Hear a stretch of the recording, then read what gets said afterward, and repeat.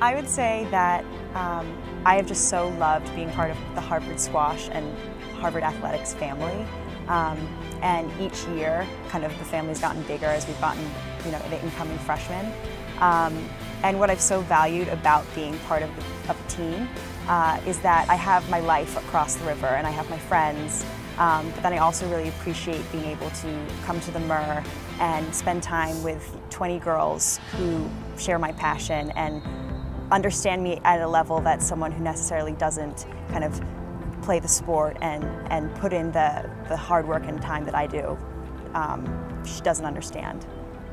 We have a really great coaching staff. We're so lucky to have them. Mike is so knowledgeable in the sport um, and he really gives insight in a way I can't say like any of my coaches in the past have. You know, he always has really funny anecdotes and somehow relates them to like the philosophy of squash and Luke and Reg are like great assistant coaches to have. Um, it's really great having them as support outside the court as well as like coming in for individual sessions with them. They're really supportive. Especially being voted by your teammates, it means a lot. Um, but at the same time, you know, everyone's a leader and you know, it was an honor to receive that title, but what I came to find over the course of the season was that we all helped each other out and all led in different ways.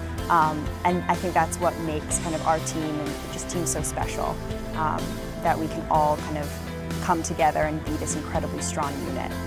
Awestruck is definitely a word that comes to mind. I think for someone who plays squash or has never seen it played before, they're like in complete awe when they come in because the courts are all lined up and like the bleachers are on the side and you can only imagine like how exciting and like the energy is that is in that building when it's the stadium's full or the bleachers are full.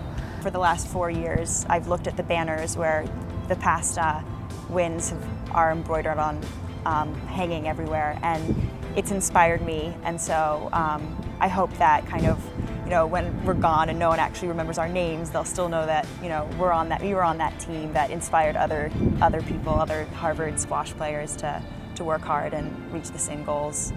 Yeah, definitely proud of the fact of um, contributing to like the team's success, but you know, there's like a long line of players who've come before us and have been extremely successful, and that's like really inspiring, especially playing for such a prestigious team and great coaching staff and all of your teammates who have become your family basically.